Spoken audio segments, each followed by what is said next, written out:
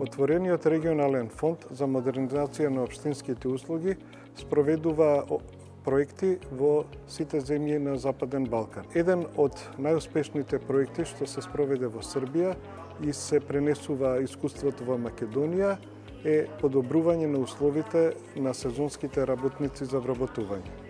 Поддршката ги опфаќа сите чекори во имплементација на проектот, од изработката на анализата на условите во земјата до изработката на софтверското решение. Нашата улога како локален партнер на ГИС е да помогнеме во леснување на процесот на реформа во државата.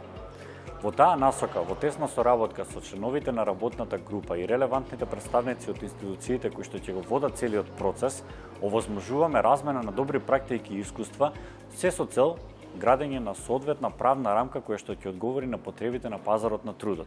Со ова законско решение сметаме дека ќе успееме делот тие лица, особено во секторот земјоделие, потоа во секторот угостителство и туризам, лицата да ги ставиме во една правна рамка, односно да се озакони нивниот работен однос или работно ангажирање.